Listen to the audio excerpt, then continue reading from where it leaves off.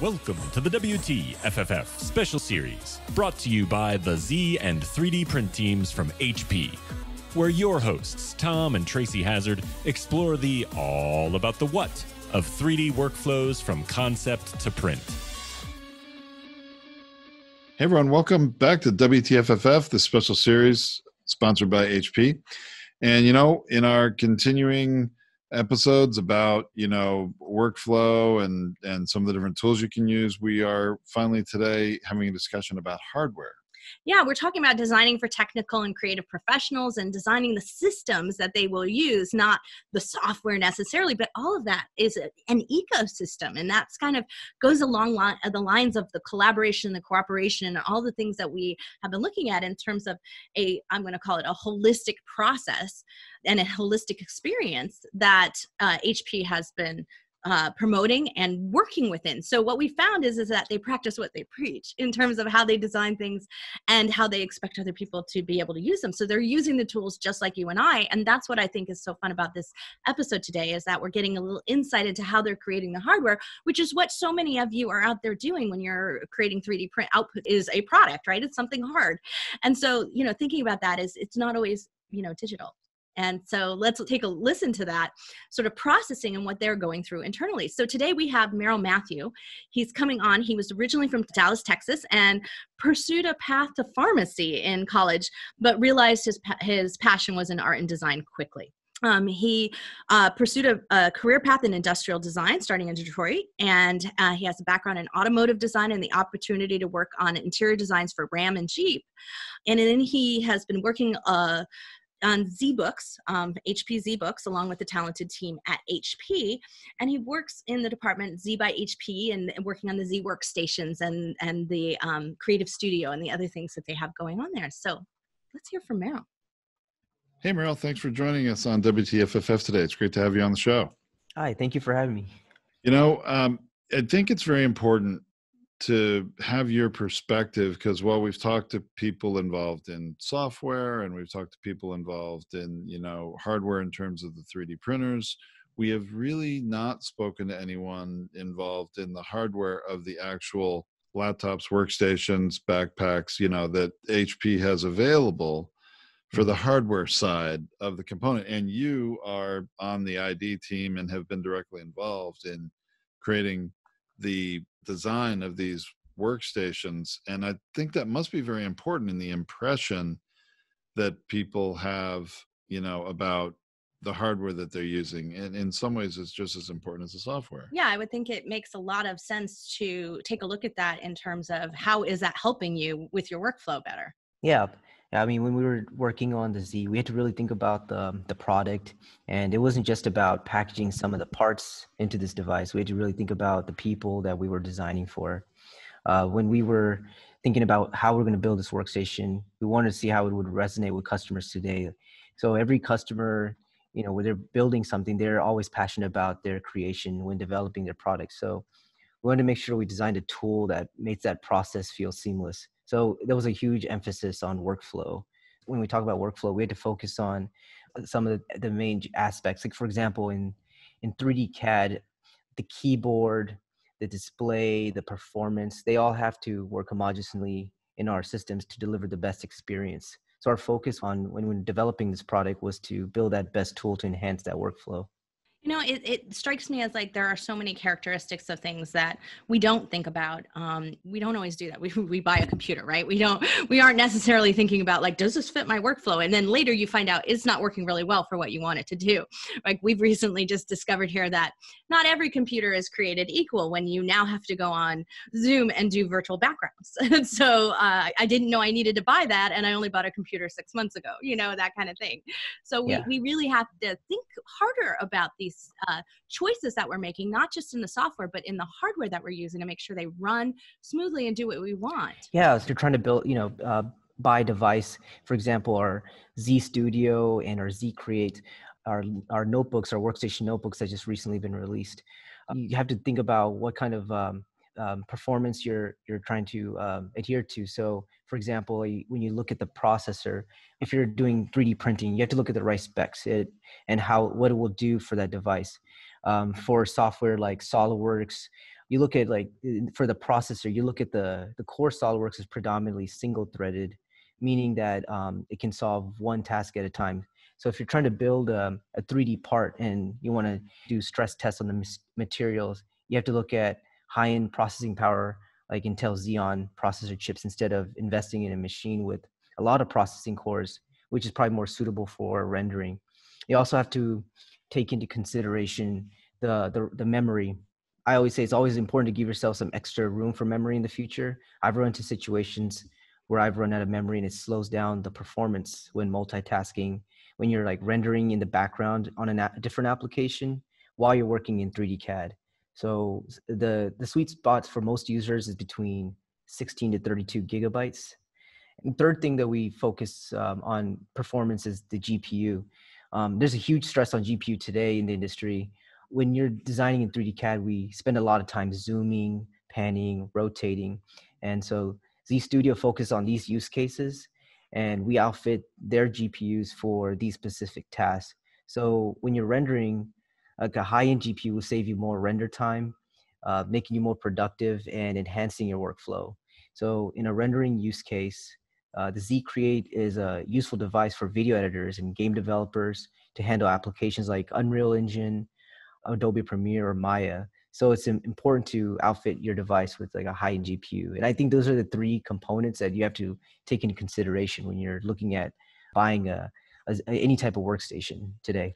Well, now when you've been designing, you know, you've been involved in several different projects with a lot of these different kinds of hardware solutions, if I remember right. And the technology changes so fast, you know, in terms of the hmm. needs and what the software demands are. That's got to be challenging. So I'm, I'm interested to hear your thoughts on that. But then also the impression that maybe a device that was intended for gaming needs to be changed to make the right impression in a corporate environment presentation world haven't you had to deal with some of those things yeah because i mean you you guys sell to a lot of technical and creative professionals um, mm-hmm. not just hobbyists so you've got it, you know both or not just gamers not right? just gamers right yeah exactly right. Yeah, we're seeing a lot more of gaming notebooks enter um, the workstation uh, industry today, and it, I think it's uh, becoming very, very competitive. And I think when we when we start looking at how we can uh, differentiate ourselves, we have to focus, you know, the the workflow and the core performance of our notebooks. And when you look at um, the workstation device also you have to consider what makes this workstation more professional than a, a, gaming device? You know i think it's so interesting that we are looking at you know I, I, I kind of like in hardware because people come to us all the time to design products right? And they think oh we're mm. just designing the pretty aesthetic on the outside. And it, it's a lot of education on our part and i feel like if that's what we're getting from you as well that it's it's we have to know what it's going to be used for how it might be used in the future how it might be misused. Like there's a whole bunch of bigger picture things and it's it's sort of like designing a a building and a room within the building right? Mm-hmm. and we don't know what's going to happen in that we in that building. We, you may intend for it to be a conference space today but tomorrow it might be a training room and the day after that it might be a series of private offices. So we don't know uh, what's going to happen with it and so many people look at that and say okay well i'm just going to drive make everything generic and we're going to just do it up to this standard. I'm not going to worry and think about that and and you guys have taken the different approach. You've said, no, I want to get in, I want to understand the creative mindset, the workflow, and I want to be ahead of that to understand where it might be going so we can do a better job of giving them something that they're investing in buying and it's going to get more than just you know short-term use out of right yeah that's one of the the things that we f- focus on is you know today especially during this this pandemic uh, we're all, all working remotely from our homes and so we've noticed um, issues that we for example when we're conferencing we may have audio issues or even uh, camera issues and see, we're taking these things into more higher consideration as we you're experiencing them yourself and then incorporating exactly. it into the new plan. That's Absolutely. good i noticed on the list quiet keyboards. I'm an i would like quiet keyboards on every single computer. Thank you very much. Um, mm-hmm. because we tend to record in the rooms where other people are and we would love that. Oh yeah, yeah yeah, one of the challenges that uh, we wanted to focus on was that we didn't want to just compromise on our keyboard.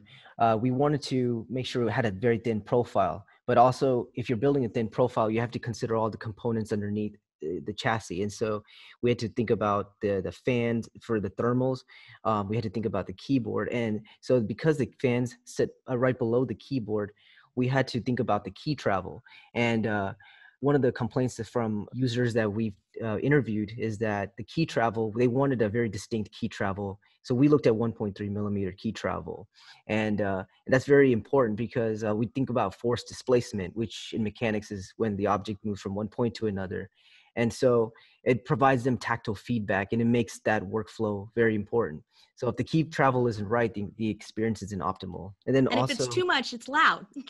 So. it is yes. And so we had to put dampeners underneath the key to provide that uh, quiet experience. And that was also another important because is an important aspect because the uh, creatives are working now in different spaces. We have the gig economy, and a lot of people are working from home. So you don't want to create disturbance. So that was very important. As much as we had uh, high key travel, it was very important to apply those scissor mechanisms to have that dampening. Boy, I gotta try one of these. You have one there you can show us, I, because I'm yes. a loud typer. Oh, really loud? Oh, yeah, really? it drives me crazy.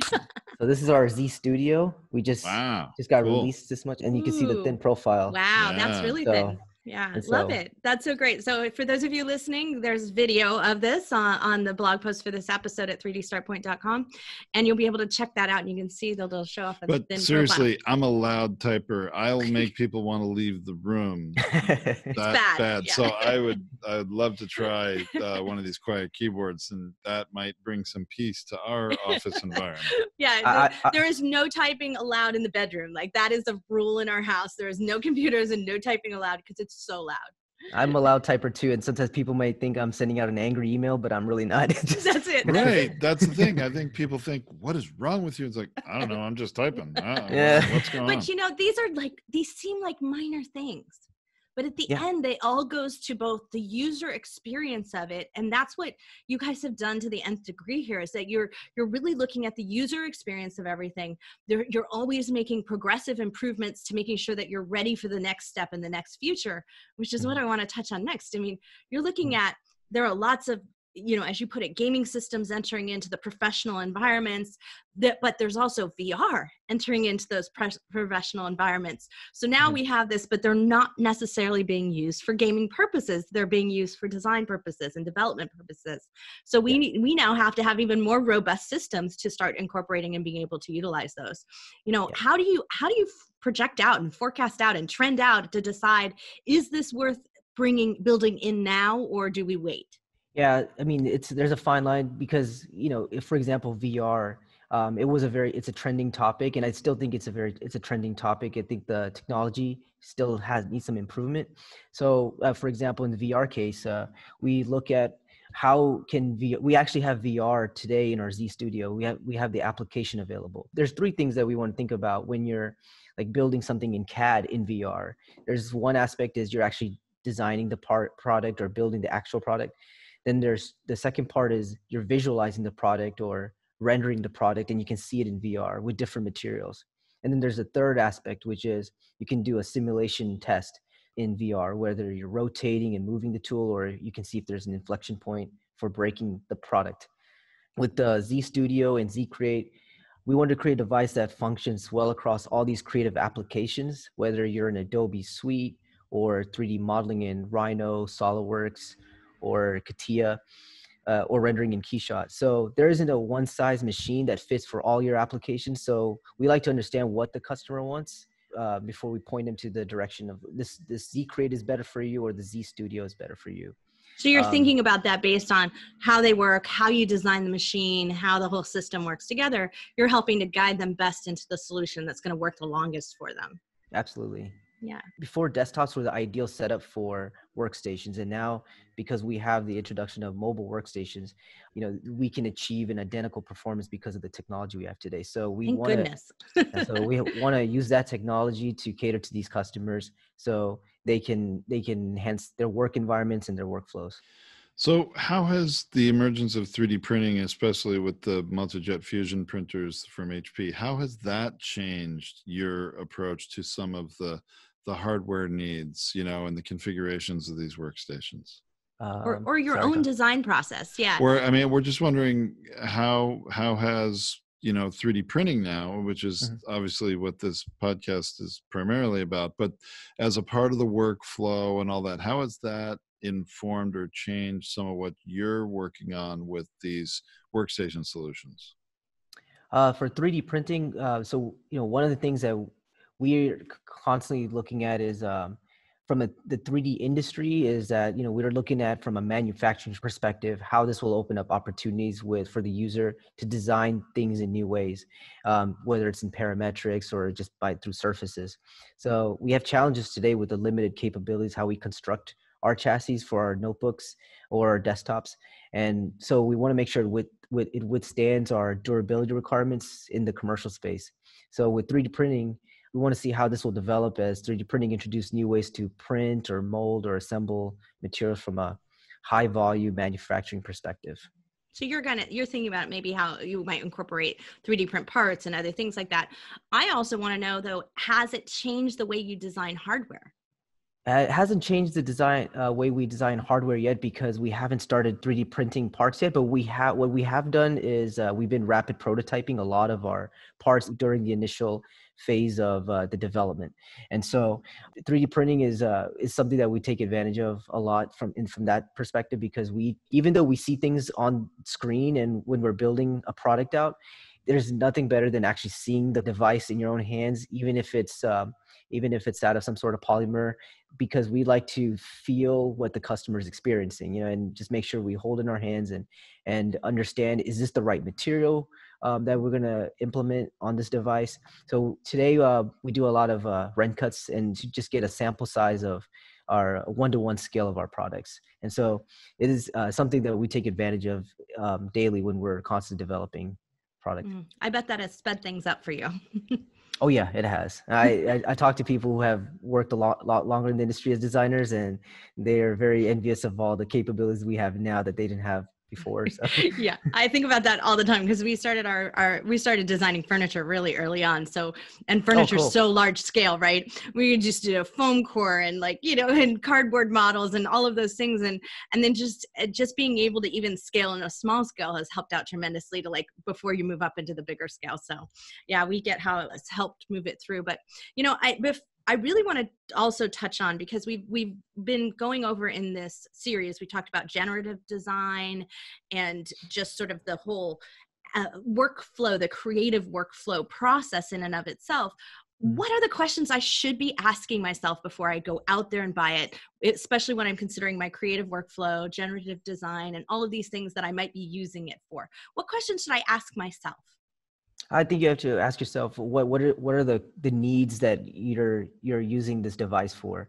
When you're built when you're using a workstation, you can outfit it to the highest GPU, but do you need the highest graphic performance, or do you, do you need the highest cores? Um, depending on whether you're um, building a model or you're rendering a model, they're very different applications. And so, for example, if you're rendering, you'll need more cores, but you might not need more cores when you're building the product in CAD. So I think it's it's good to educate yourself on what are the the requirements that you need for the type of applications. And if you go to our workstation website, you can actually see based on the the, the softwares you use that we basically put together based on your needs w- the type of product you're looking for. So your And so- ideal workstation. I love that. You know, it, it makes me think about something you did say earlier, which is that thinking about maybe overbuying. And and you know what? I think that's really true. Like you, you need to buy for the future, not for where you are today. So when I, you know, I go in to buy a computer, sometimes I'm my my thought process is simply, gosh, I just keep running out of hard disk space. Like that's the only problem I want to solve. But that's not actually the solution because I keep running out of hard disk space because I'm I'm, I'm rendering videos and I'm doing all of these other things. I need a system that does more. And so asking yourself the what, which is what we're here all here about on on WTFFF because it stands for what the fused filament fabrication. So Mhm. the what is really critically important is what you want to do with this in order to get out what you want in the future. Yeah, I found it really um, something you said earlier made a lot of sense. Where you know you could be overbuying on your processor and the number of cores, and you think you're buying this workstation that's gonna you know help you be more efficient and the reality is depending on the software you may only need one core processor right?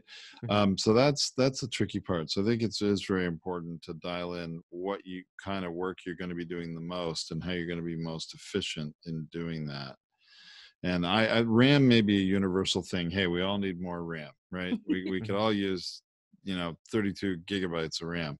But in it's not all about short-term memory it's about you know the different ways things get processed.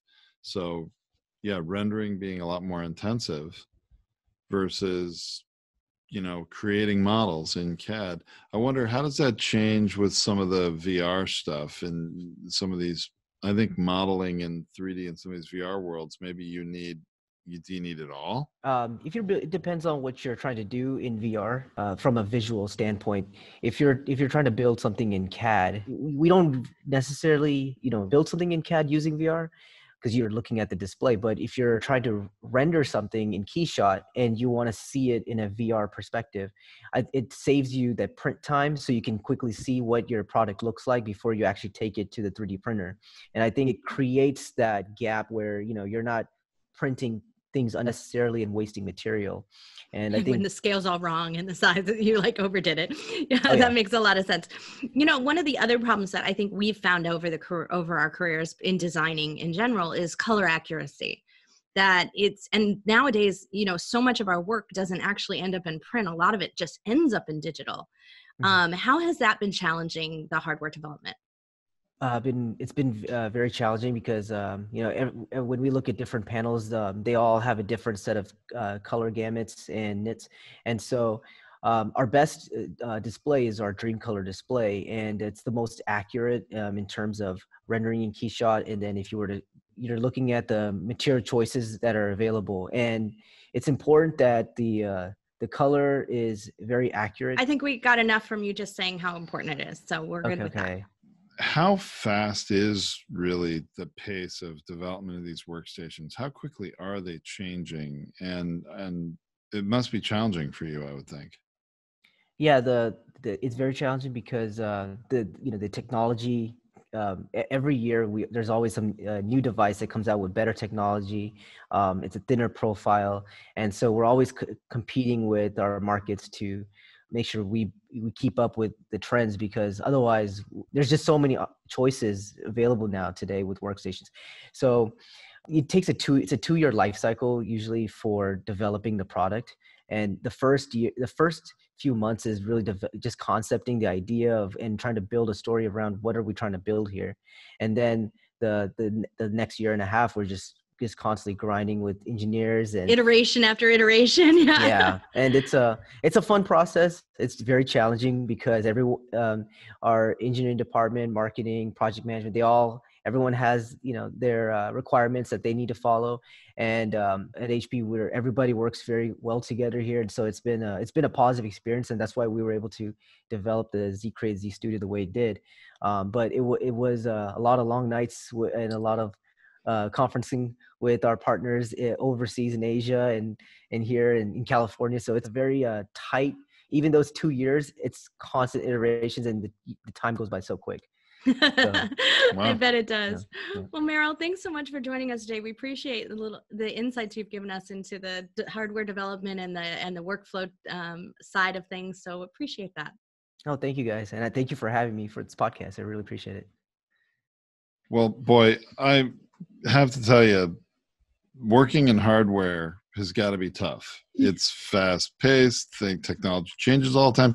A but it's not fast cycle, enough. but a two year cycle. So you're work starting to work on a project that is not got a product's not going to be on the market for two more years how do you predict all of that? Well, you know, that's the interesting part. So when we were talking about Merrill at the beginning, we mentioned that he had a background in automotive design. And I know from my early days in automotive design that the life cycle is incredibly long. It can be 10 years or 12 years sometimes from the time that you begin designing parts and, and interior fabrics. That's what I was working on in my early days and working on these components that are going to be a decade out. And how do you know what the world's going to be like in a decade? I mean, look, we change in matter of months now.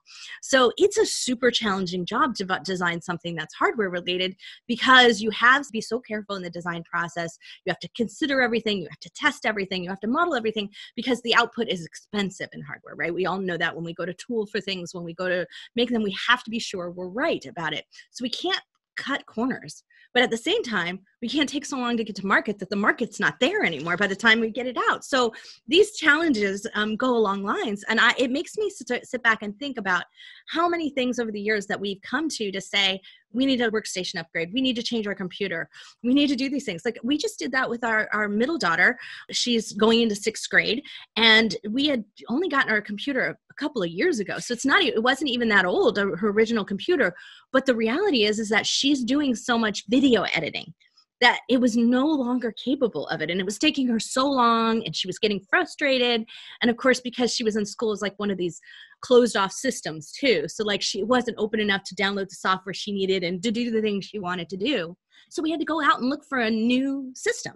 Well and and i think that's the key. Like anything you've got to have the right tool in order to accomplish your goals. So i think knowing exactly what kind of software you need how much time are you going to spend modeling something versus rendering something how important is it to have that color accuracy from what you're seeing on the screen so you got to have the right monitor you know as compared to you know what the end product is going to be otherwise you're going to end up designing something that is not going to meet the needs of that consumer at the end of the day. Right and and this is the thing so considering that and taking into in the design process uh, working with a company like hp obviously they have the ability to sort of project out they see what's coming in software they see what's coming in vr they see what's coming in the 3d printing and so they see what's on the forefront so they can be better at designing for that rather than responding to the market shift in that. So that's a great advantage for them. But on our side, we have to do a better job of, of asking those questions that um, Marilyn was talking about, that we need to ask the right questions for ourselves instead of